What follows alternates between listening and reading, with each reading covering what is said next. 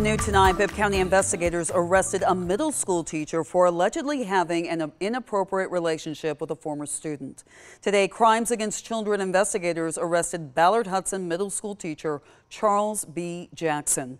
They received a report about the alleged relationship and issued warrants for his arrest. They took the 54-year-old into custody on charges of statutory rape and aggravated child molestation. He's being held at the Bibb County Jail without bond.